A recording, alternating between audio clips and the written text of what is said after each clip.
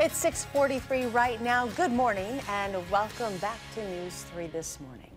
It is time for Potentially Yours. Every Tuesday we try and give pets at Dane County Humane Society a new place to call home. Marissa DeGroot from Dane County Humane Society is here with Cookie.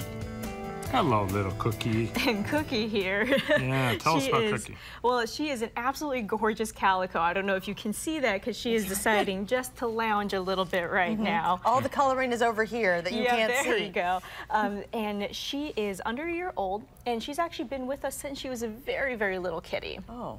Cookie has had quite the little adventure, Mm-hmm. um, and you know, even with all the kind of issues that she's faced, she is such a sweet girl. Um, so she came to us.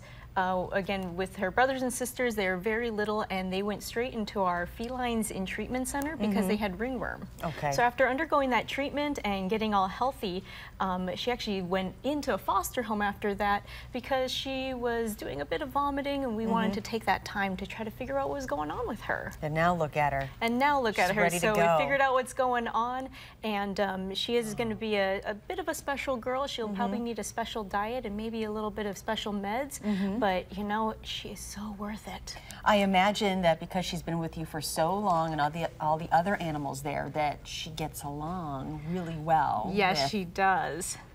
She would get along well, I think, with other cats Mm-hmm. and maybe dogs, kids, and she's just one of those really fun cats. Mm-hmm. She, uh, maybe I wasn't quite ready to be doing all the playing this morning, but she certainly Oh. was. That's typically She clearly likes attention, too. Oh, With yes. three different people petting her. Okay, so talk about the special cat um, event that you have going on this weekend. Yeah, It's, it's so Hunger Game wildness. we are so Somebody excited. here is really excited. Can you tell?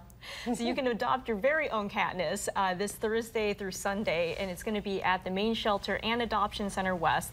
Adult and senior cats are going to be $11, and kittens are going to be $20. So it's a really good deal on cats. We're really hoping to clear out the shelter, um, and we are hitting kind of a second kitten season. So Are there really? are some kittens there, and there are some, you know, nice young adults like Cookie here. So um, I'm putting you on the spot, but how many do you think that you have at the main shelter?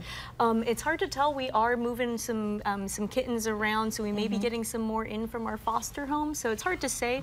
but Oh, okay. um, if you are interested, come in right away and kind of check out these awesome little kitties that we have. Boy, you know the black on her is so it's so deep and Oh, rich. yeah. Yeah. I mean the coloring's just spectacular. And she There is you go. so much fun. I mean, after everything she's been through, Mm-hmm. she is just such a silly, fun little girl. Oh, it's good to see. All right, Marissa, thank you very much. Oh, thank you. All right, if you are interested in adopting or checking out other animals at Dane County Humane Society, go to giveshelter.org or you can call that phone number you see there on your screen to set up an appointment. All right, let's take a look now at two animals available at Green County Humane Society. First, we have Atticus, a three-year-old boy who loves to explore and sit by the window watching the birds. Cable TV for cats, as I like to call it. And then there is Toby, who's a, a new arrival, a five-month-old Weimaraner mix, Weimaraner mix, who's full of energy. He's very curious. He was found on Bloom Lane in rural Monroe. Thank you.